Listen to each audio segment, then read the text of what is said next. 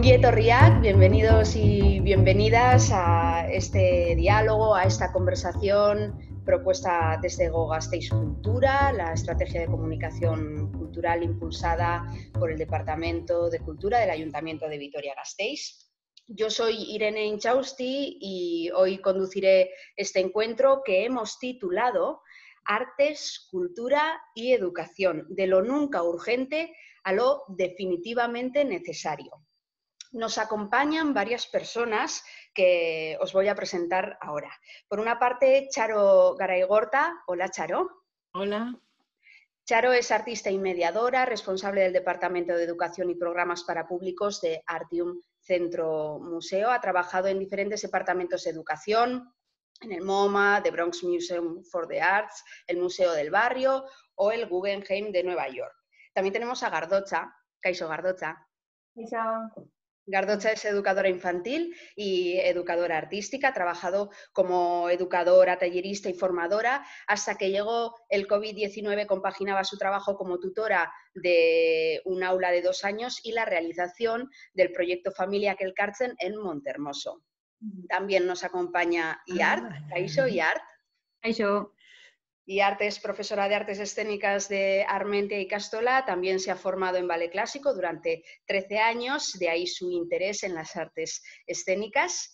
Y por último tenemos a Pilar López. Hola Pilar. Hola.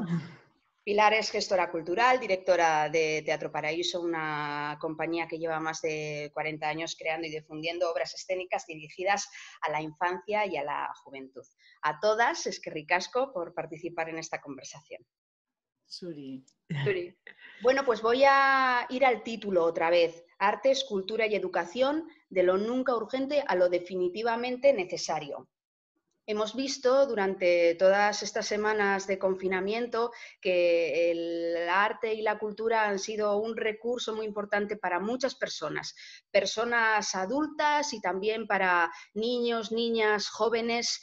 Em, estamos eh, siempre desde el sector intentando explicar por qué el arte y la cultura son importantes, pero no os voy a preguntar por eso, porque por eso ya hay mucho escrito. Os voy a preguntar, para empezar, eh, Pilar, voy a empezar contigo. ¿Es importante desde dónde nos aproximamos al arte y la cultura o da igual si lo hacemos desde el mero entretenimiento, si lo hacemos con conciencia del beneficio que eso tiene? ¿Ha de importar eso?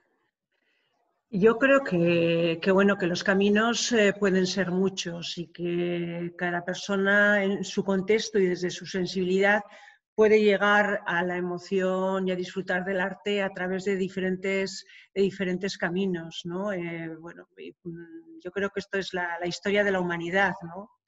no hay un único camino, afortunadamente, hay muchos caminos y seguramente cada persona tiene su propia historia, porque no es algo que podamos solamente aprender o coger, sino que es algo que está dentro de nosotros también, de cada, ser humano, forma parte de nuestra esencia humana.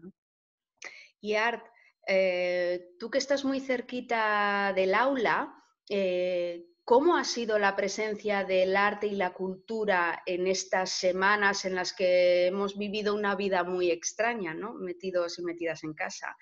Eh, por una parte, por parte del profesorado, es decir, que cuán de importante ha sido eh, el arte y la cultura para, poder eh, trabajar los contenidos que, teníais que abordar y desde las familias, ¿qué se os ha pedido al respecto?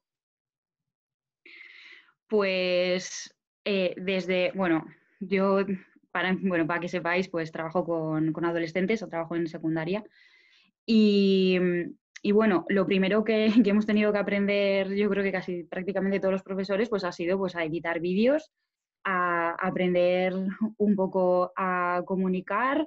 Em, hemos tenido que reinventarnos un pelín. Eh, también nos hemos intentado acercar a, a, los alumnos pues, a través de, pues del arte y de la cultura, de diferentes expresiones, manifestaciones. Pues, por ejemplo, en la Icastola, ahora que, recuerdo, en los profesores de, infantil pues, decidieron hacer un vídeo cantando a sus alumnos, haciéndoles una representación pues, para que nos sintiesen un poquito más cerca. Y bueno, en cuanto a lo que los alumnos a mí me han transmitido, pues la verdad es que yo creo que se han dado cuenta de que no serían capaces de, poder sobrellevar toda, esta situación sin, música, sin vídeos, sin series, sin todo ese contenido audiovisual que, que, nos ha salvado estos días probablemente a muchos de nosotros. Y bueno, en cuanto a los padres, pues bueno, comentar, por ejemplo, que, que sí que se nos ha pedido pues, que, les mandemos lecturas a los chavales, que intentemos incentivarles un poco eh, pues en el ámbito cultural y artístico. Gardota, tú trabajas eh, con niños y niñas más pequeñitos. Eh, ¿Cuál ha sido tu experiencia con respecto a esto? Pues la verdad es que nosotros rompimos, a raíz del COVID, entramos en ERTE y eso pues al final hizo que paráramos esa relación con, con las familias, ¿no? Pero sí que por el entorno que tengo, que gente conocida que he seguido manteniendo esa relación, ¿no? Al final, en este caso, las artes lo que han hecho poner el énfasis o eh, la importancia en el bienestar de las personas, ¿no? en, el bienestar, de esas criaturas. ¿no? Hasta ahora estábamos en un, en un contexto escolar en donde se le daba mucha importancia a todo el tema de memorización de contenidos, de, pues bueno, de temas más académicos, ¿no? por decirlo así, y ahora se ha puesto de manifiesto dos cosas importantes, ¿no? La importancia del bienestar de esas personas y eh, la importancia que tiene el arte para poder también ayudar en ese bienestar, ¿no? Charo, eh, hilando un poco lo que comentaban Pilar y eh, Gardoza, eh, desde dónde, por qué nos aproximamos al, arte y la cultura.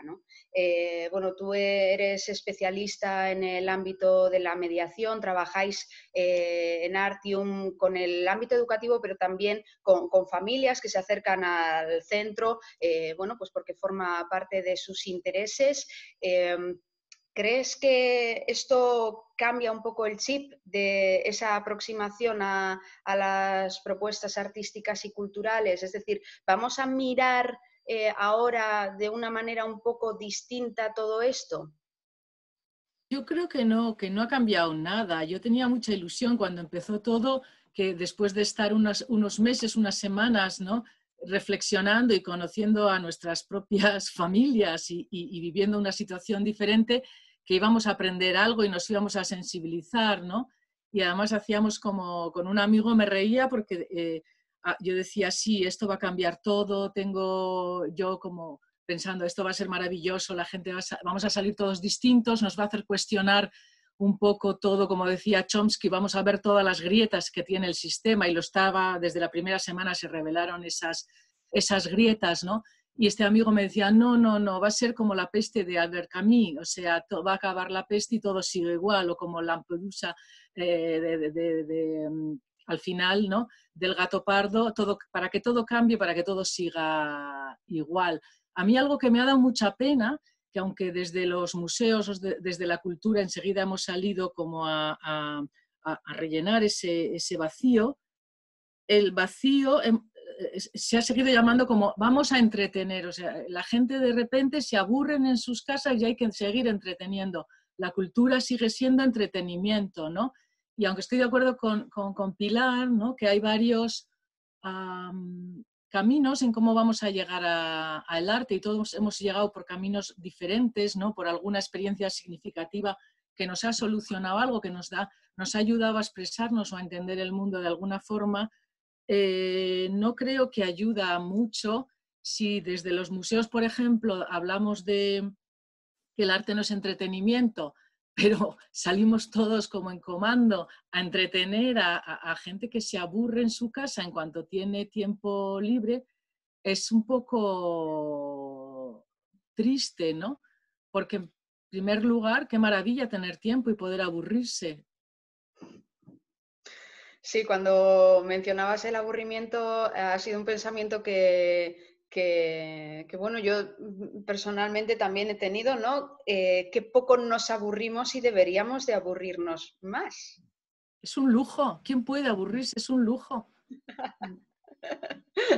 bueno, eh, ahora estabas hablando, Charo, del, papel de, de, las estructuras culturales bueno, de, todo lo que ha ido surgiendo eh, durante estos días, quizá esta cuestión, eh, bueno, pues afecta un poco más a, Pilar o, a Charo, que, estáis vinculadas a, estructuras culturales, Gardocha y Art por supuesto, si, si, tenéis también alguna aportación, pero mm, ¿qué os ha parecido este, crear, este, ofrecer, abrir los contenidos, abrir las creaciones, em, porque por una parte eh, resulta generoso, pero por otra parte también un poquito peligroso, ¿no? Es un arma un poco de doble filo. Pili. Creo que hemos pasado por diferentes fases, pero creo que ha habido una situación de emergencia social en la que cada institución, cada ciudadano, cada persona quería aportar algo. Todos no podíamos estar en los hospitales porque ni hacíamos falta ni tenemos conocimiento, pero cada uno desde lo o cada una desde lo que puede aportar quería aportar a la ciudadanía o quería aportar a ese bien personal y ese bien colectivo. Y creo que desde ese punto de vista han aparecido mm, propuestas que realmente son interesantes, ¿no? que han servido para... La cultura también es simbolización, ¿no? Y nos puede gustar más o menos la canción de Resistiré, pero se ha convertido en un niño importante más allá de que quién la hizo, del tipo de lo que significa la historia de la música, porque nos la hemos apropiado para expresar colectivamente también un deseo. ¿no? Creo que también viendo los telediarios, eh, todos los días la cultura, las expresiones culturales, el ballet, eh, la ópera, es decir, el, contenido cultural formaba parte cada día de los telediarios, como no había pasado nunca, porque solamente salían los viernes los estrenos de cine o alguna cosa de muy excepcional. Y todo esto ha hecho para mí también que la, que la cultura haya estado más presente también en, en la, en la, vida cultural.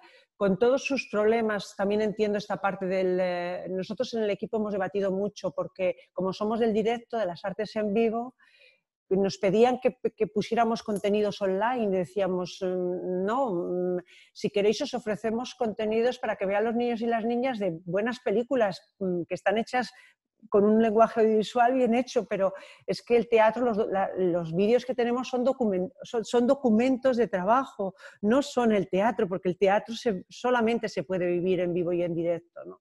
Pero también nos ha hecho plantear que tendremos que pensar también, replantearnos el mundo también. ¿no? Yo desde ese punto de vista lo veo como un sentido positivo, con todos los problemas, porque estamos en una situación realmente compleja y complicada. ¿no? Charo. Lo que pasa es que, claro, eh, ese paso, viéndolo desde un punto de vista positivo, claro que hay un desarrollo de contenidos y se ha abierto una puerta importantísima.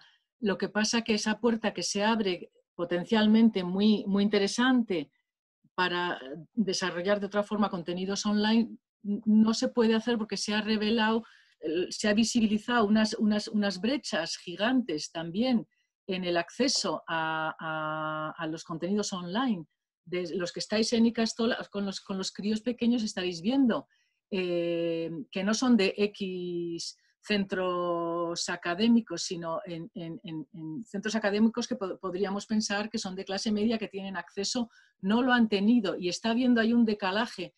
Y, eso es una cuestión muy, muy injusta. Hasta que eso no se solucione, es que, es que eso, eso es lo que hay que solucionar. Eso es indignante.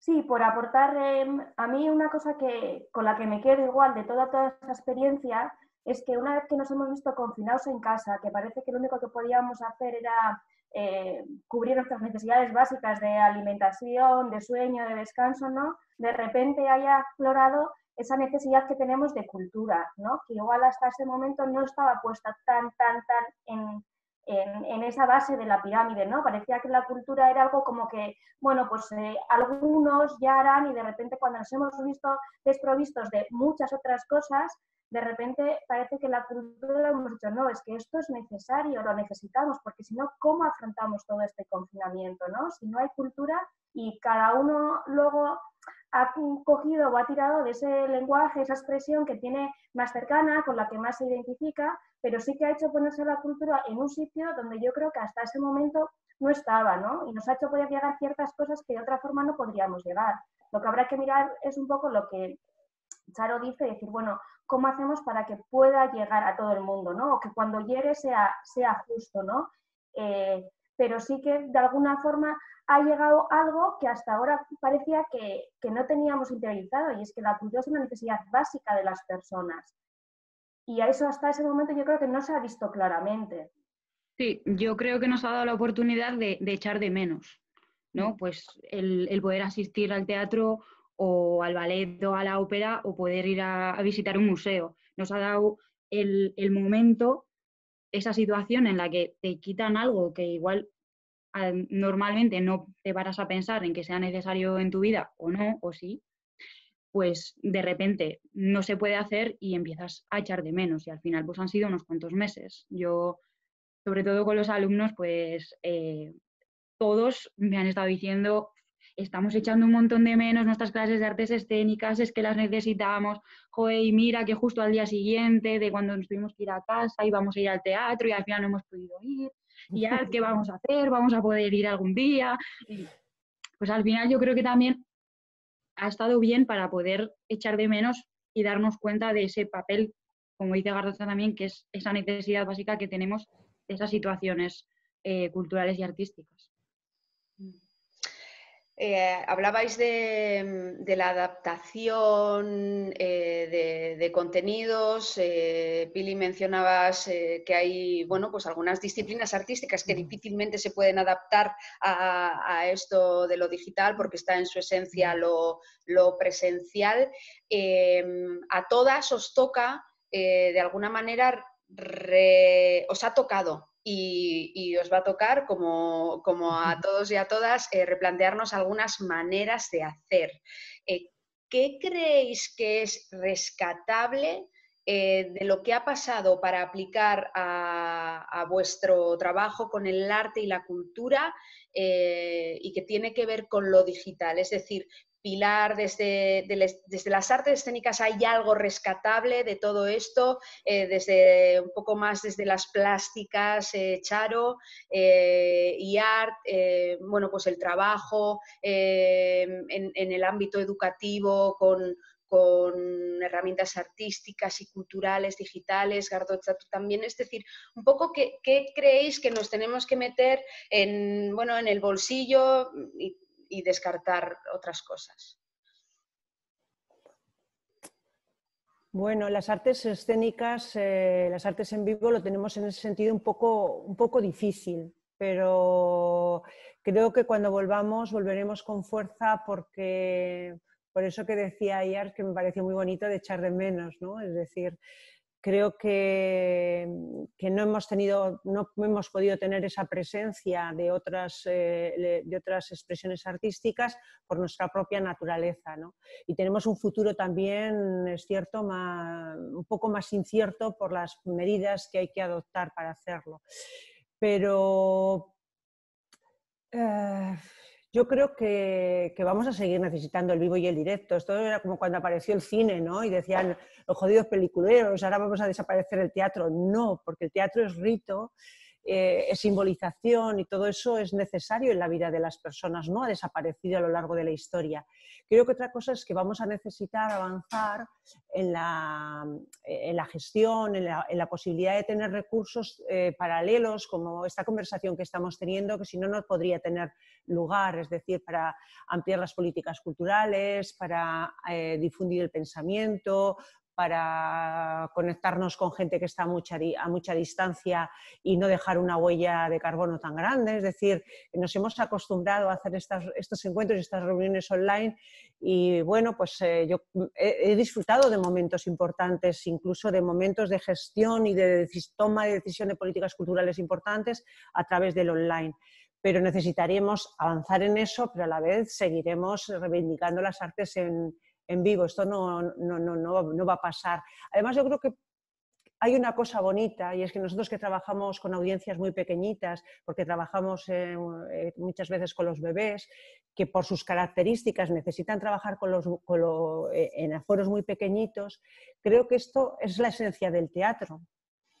Eh, no estamos hablando de grandes eventos, estamos, hablando de, una comunicación que es muy humana, que es muy a, escala del ser humano, porque hay un ser humano que está eh, contemplando otro, otro ser humano que está relatando algo. ¿no? Y yo creo que esto va a ser importante y sigue siendo importante. ¿no? Aunque hayamos visto, es decir, qué bien que tenemos eh, series magníficas, que tenemos audiovisual, que tenemos eh, todo, pero también está esta, esta comunicación en vivo y en directo que tiene que ver con una parte muy, muy, simbólica, ¿no? muy, de, muy de tribu. Yo estoy de acuerdo con lo que está hablando Pilar, porque yo creo que en educación, toda, todo, la educación antes de ser visual, a musical, eh, es un performance. Hacemos un performance, es, montamos una, una, una, actuación mayor o menor. Un taller, aunque sea plástico, es un performance, ¿no? Es una persona en un espacio dirigiéndose a otras personas a través de una serie de medios y con alguna utilización del lenguaje verbal. una visita en el museo también, por lo tanto, ese aspecto de performance tan importante que tiene la, educación no nos podemos olvidar y, eso se pierde cuando está online. ¿no? En la educación incluso formal, en clase, yo creo que, que se aprende más de los propios alumnos, de los propios compañeros, de esa interactuación que tenemos, que del propio, que de, lo que nos pueda estar contando los profesores, que también es como un tutti frutti, es una mezcla de todo lo que está sucediendo ahí, por lo tanto, por eso es un performance siempre. Y, el reto digital también un poco ha sido eso, ¿no? Que tienes que hacerlo perfecto porque pierde de esa, de esa parte humana, ¿no? De esos gestos, esa sonrisa que en un momento tienes y que ya lo dice todo en, el, en, en, un vídeo es un guion, tiene que ser un guion perfecto, perfecto, perfecto, porque no puedes eh, suplementar con una sonrisa, con un gesto, con, con cambiar algo, ¿no? Y, y, y, yo creo que nunca va a sustituir lo uno a lo, al otro, que son dos cosas totalmente distintas y que no aprendemos solos, aprendemos los unos de los otros y el conocimiento lo generamos entre todos y que uno mismo solo con muchos vídeos no va a hacer nada, ¿no? Pero que unos vídeos bien hechos también pueden ayudar muchísimo en un momento determinado y es otra herramienta. Y esto nos va a demostrar lo que siempre hablábamos desde el arte, ¿no? que el arte es una herramienta metodológica, que no, que no es el arte por el arte, que el arte no es una asignatura, que el arte no es una manualidad, que el arte es una forma de, pensar y llegar a sitios. Y esos sitios están en el currículum escolar, en la vida, en las emociones y en, en todos lados. Es eso.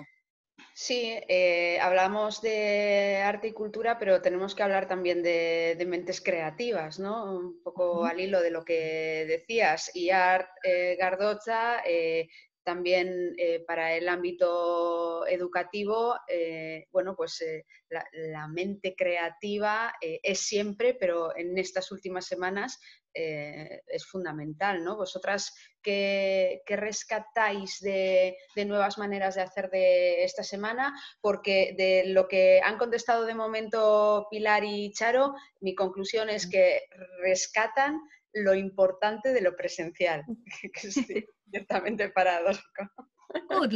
sí, sí, no, porque también, por ejemplo, para mí toda la experiencia de teletrabajo, de trabajar en casa, es mucho más creativo, ¿no? Porque te lleva, eso ha sido maravilloso, ¿no? Que ojalá venga para quedarse como en otros países ya nos han sacado muchísimo la, la, delantera, ¿no?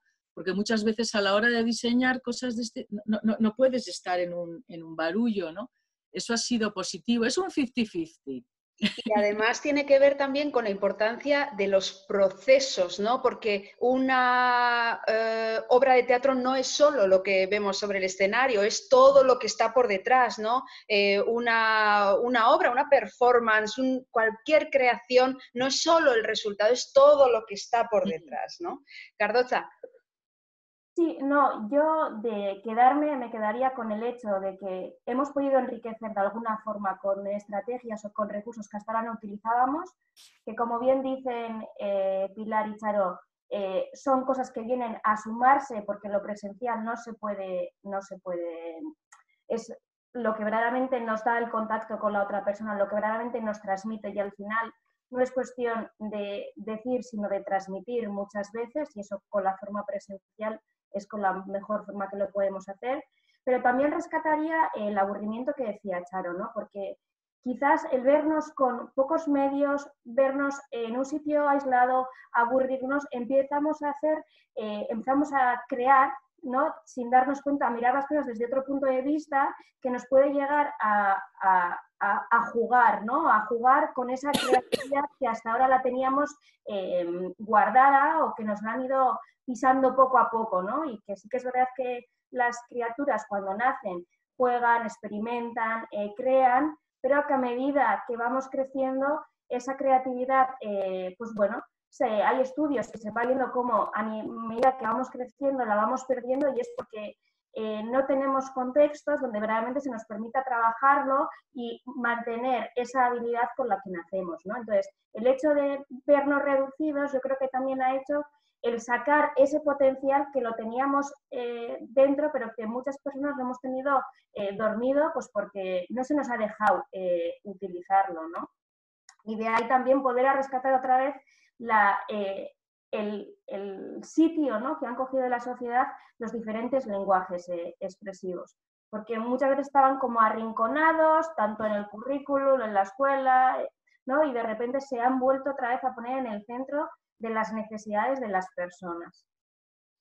Sí, yo ahí estoy totalmente de acuerdo con Gardota. Yo creo que, que nos, ha, nos ha venido, o con lo que yo más me quedo, es con, con esta explosión de creatividad, o por lo menos que hemos tenido que tener en el ámbito educativo para, conseguir suplir esa carencia de, no estar presencialmente con los alumnos. Y también súper importante que, creo que ha colocado al, alumno en el centro, que los ha hecho ser más activos y a estar más pendientes y preocuparse más de su propio aprendizaje. Y a mí me gustaría que eso no lo, no lo perdiesen cuando lleguemos otra vez a la, enseñanza presencial. Creo también que les ha dado la oportunidad de reflexionar también acerca de muchas cosas, como por ejemplo lo que puede ser el, papel de, las artes y la cultura en general en nuestras vidas.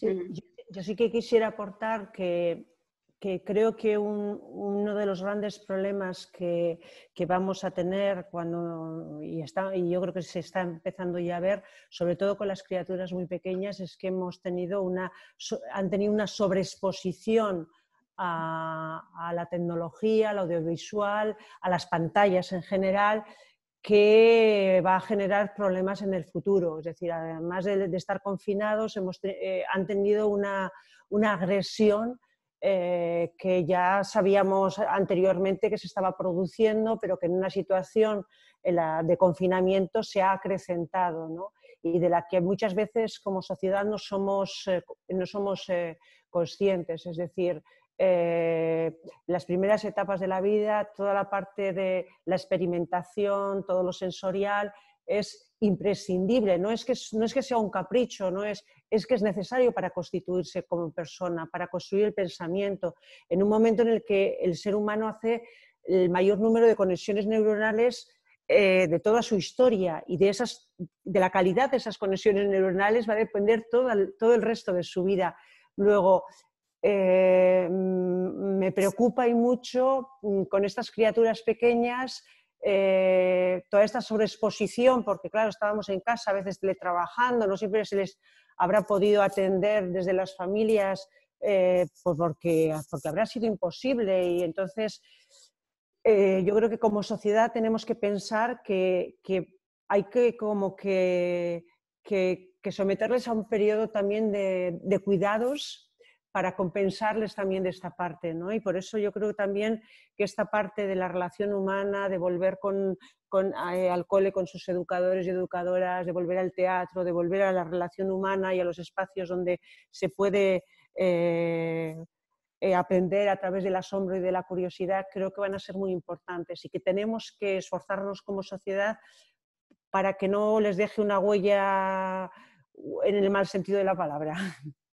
Pili, y eh, con niños y niñas pequeñitos, em, pero también con adultos, porque también las personas adultas hemos estado sometidas a, muchísima presencia digital. Eh, seguramente eh, habrá habido algún día en el que estuvierais saturadas ¿no? de, tanta pantalla, de tantas cosas que llegaban, sobre todo al inicio, ¿no? porque estábamos eh, todas un poco descolocadas. es decir, que digamos esa, esa distancia, ese tomar un poco distancia con, con lo digital es necesario para los pequeñitos porque están en una edad muy, muy sensible, pero también para, todos los demás.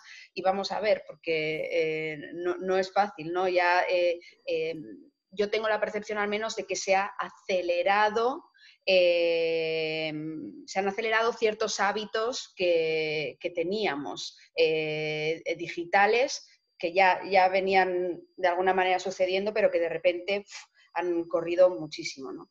La idea de eh, encontrarnos hoy aquí, eh, bueno, era, era mm, venía porque queríamos que, personas que vienen del ámbito eh, educativo, formal, no formal, también del ámbito artístico, bueno, pues uniéramos un poco miradas. a futuro, está complicada la cosa, porque por una parte el ámbito educativo tiene un papel muy complicado en los próximos meses. Eh, bueno, ahora para finalizar el curso, independientemente de si se está volviendo a las aulas o no, pero el año que viene, el inicio del, curso que viene y todo, todo, el curso, ¿no? Porque no sabemos si va a haber eh, un repunte, no, en fin, no sabemos lo que va a pasar. Bueno, pues ahí todavía eh, va a haber mucha incertidumbre. Por otra parte, las estructuras culturales que, que, vienen dañadas ya por todo lo que ha pasado y que van a estar más dañadas todavía, porque, bueno, pues eh, eh, económicamente también el, panorama va a ser complicado. ¿Qué podemos hacer? A ver si sacamos una fórmula un poco eh, que, nos ayude. Desde, desde el sector cultural y desde desde el sector educativo para que nos ayudemos mutuamente. Y estoy hablando de, medidas que, por ejemplo, desde las instituciones se podrían eh, apoyar. Em, voy a empezar contigo, Yart, porque los centros educativos eh, estáis ahora mismo sometidos a muchísimo estrés, ya habitualmente sucede, pero con, todo el reajuste que habéis tenido que hacer en, estos meses, pues más todavía, ¿qué necesitaríais para eh, para que, mm, bueno, para tener la oportunidad de, alimentaros de todos estos, eh, em, de todas estas herramientas que el arte y la cultura nos da, ¿qué necesitaríais por parte del sector? Joder, yo pienso que igual conexiones, ¿no? O sea, tener una mm, mayor sinergia entre las instituciones, los teatros, museos, los diferentes mediadores eh, con, el ámbito educativo. Normalmente, bueno, por lo menos en, mi experiencia, lo que, he vivido es que suele ser más bien una acción más particular. Eh, pues yo soy profesora de artes escénicas, entonces yo me busco un poco la vida, voy conociendo cada vez a más gente y veo por dónde moverme yo creo que debería haber un mayor acercamiento entre, entre la educación y la cultura y el arte. Complicado, pero has dicho una cosa muy importante y es el valor de las personas, ¿no? Porque al final detrás de, los centros educativos están las personas, detrás de las estructuras culturales también, es decir, que es muy importante lo que cada, cada persona hace, ¿no? Por, por, por aquello que desea. Eh, Gardocha, tú eh, que estás en el, en el, ámbito formal, ¿no? pero también en el ámbito de la educación artística, en un ámbito eh, informal, ¿qué crees que, que se puede hacer? Que se puede pedir también. Bueno, eh, un poco por donde decía Yart, ella habla de las sinergias y yo veo que son importantes. Y sí que es verdad que son importantes las personas, pero también son importantes en los colectivos, organizaciones, porque cuando todo depende de las personas en concreto, cuando se cae esa persona, se cae esa relación, ¿no? Y sí que es verdad que son contextos que, que se muestran a veces cerrados, aunque ella a veces em, eh, pequeñas eh, colaboraciones o momentos puntuales en los que se cruzan, no llegamos a trabajar en colaboración de una forma estable y a largo plazo, ¿no? tanto eh, los teatros o los museos tienen mucho que aportar al sistema educativo porque esas experiencias no existen en el sistema educativo. Son enriquecedoras para el alumnado, son necesarias y mm, la escuela de por sí no puede cubrir esa necesidad. Y a la vez, la supervivencia de, los centros culturales depende de las generaciones futuras. Entonces, necesitan ambos, ¿no? Lo que pasa es que no terminamos de de encajar ese puzzle, e, esas piezas, ¿no? También puede ser porque eh, son sistemas que funcionan eh, muy diferente. Eh, el colegio tiene ya un, un, ritmo muy fuerte y tiene una base sólida que a veces la cultura no tiene porque muchas veces funciona por subvenciones, van cambiando.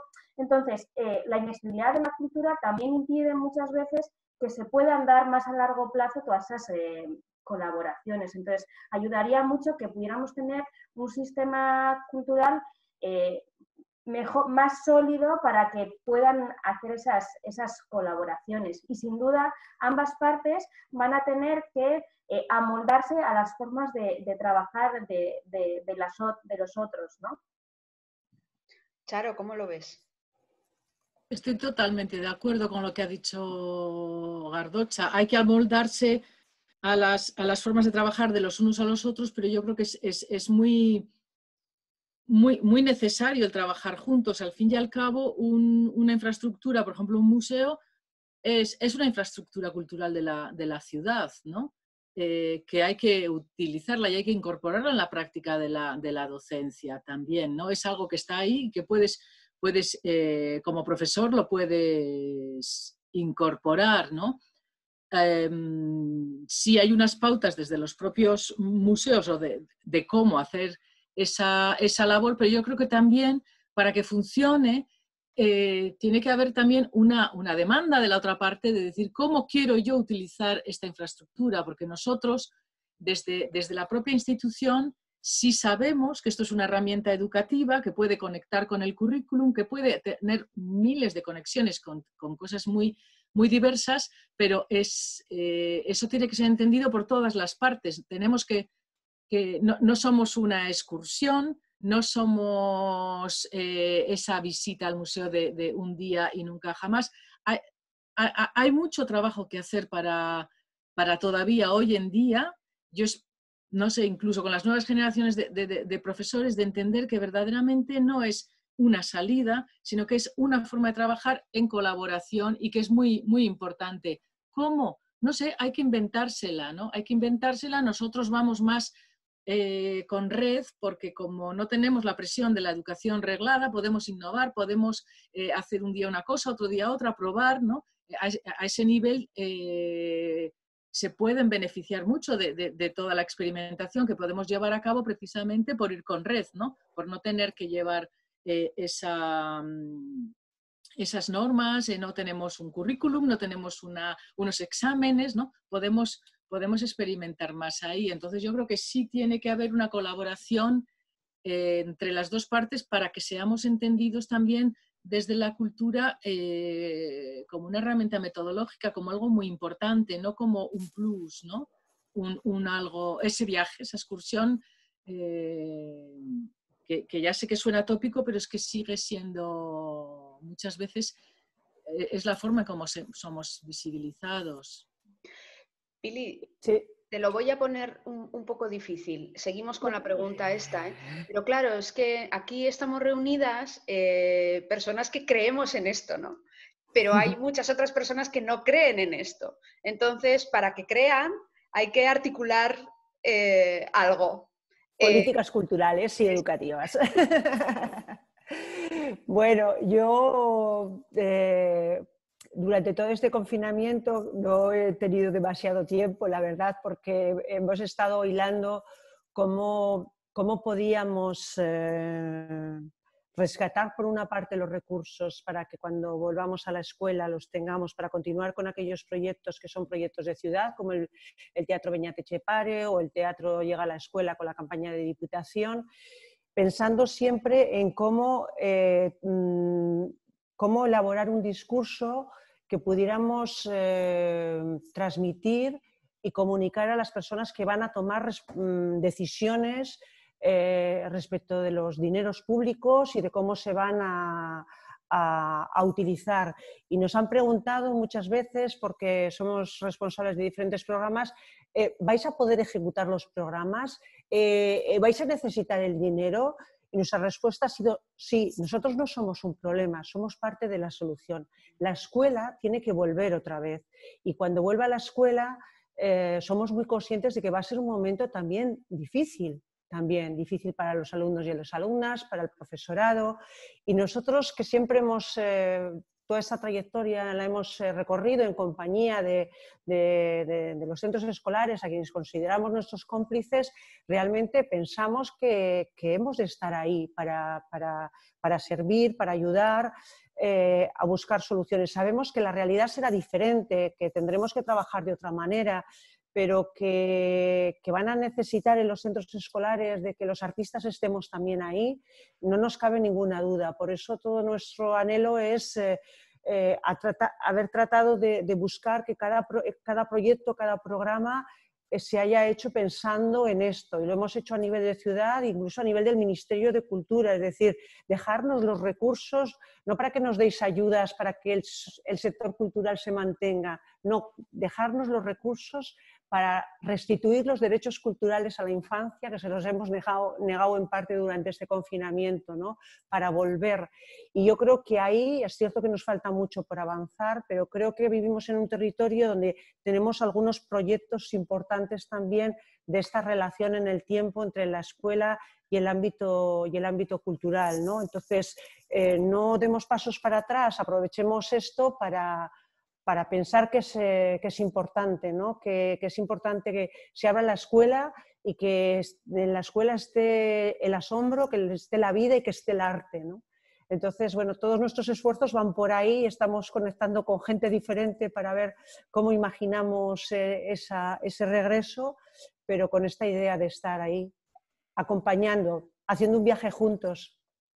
Eh, bueno, pues con, esa idea tenemos que ir terminando. Es una pena porque, como siempre pasa en las conversaciones, según vas cogiendo ritmo van saliendo cosas más interesantes, pero hemos dado unas pinceladas de algunas cosas, ¿no? Eh, comenzábamos hablando de lo que ha pasado estas semanas, de, de, cuál era la manera, si todas las maneras de acercarse al arte y la cultura valían. Bueno, ha habido eh, opiniones de todo tipo, eh, el, sector cultural, el educativo también querían aportar desde, desde su rol. Mm, pero siempre reivindicando ¿no? que, el arte y la cultura no son mero entretenimiento, que sobre todo son eh, herramientas metodológicas que, se pueden aplicar también en el, ámbito educativo. Hemos hablado de, de lo importante de las puertas que se han abierto pero mm, de no olvidar que, también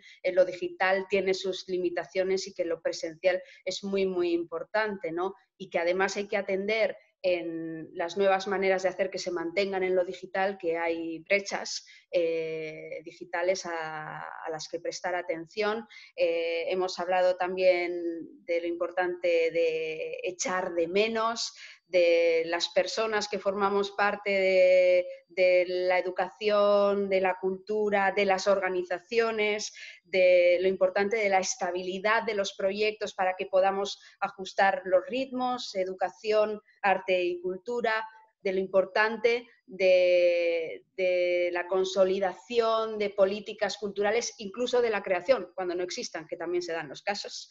Y, bueno, pues eh, de lo importante también de aburrirse y de no tener miedo a hacerlo. Yo os quiero agradecer mucho vuestra presencia y ojalá podamos el año que viene recuperar esta conversación y ver en qué momento estamos y si nos estamos pudiendo ayudar o ayudar mutuamente. Eh, Gardoza, Iart, Charo, Pili, muchas gracias. A ti. Gracias. Agur. y Agur también al otro lado. Agur, agur.